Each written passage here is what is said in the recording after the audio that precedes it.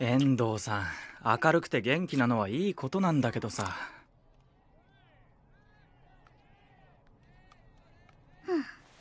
二人の時は愛のって呼んでよ。田中っち。はあそうやって担任の僕をからかうのはやめてくれないか。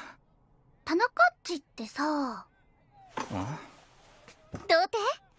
う何を急に？慌ててる。おゆしそんなわけないだろじー。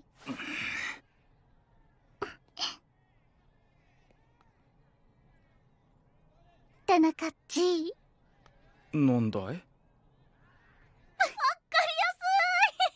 僕は大人びた女性がタイプなんだ。だから遠藤さんのような貧相な体型だと間違いなんて絶対に起きないから。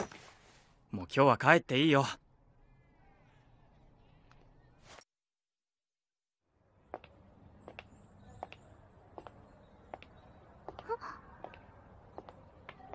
田中っち何してんのうわ遠藤さん何度も言ってるけど田中先生ね。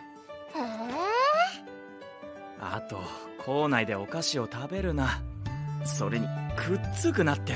ああ今エッチなこと考えたでしょう。わ放課後生徒指導室に来なさい。ったく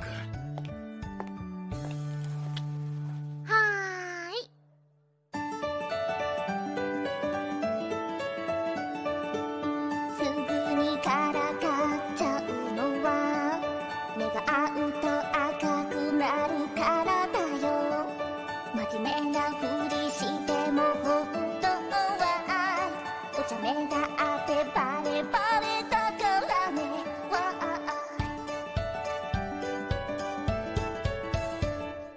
きもち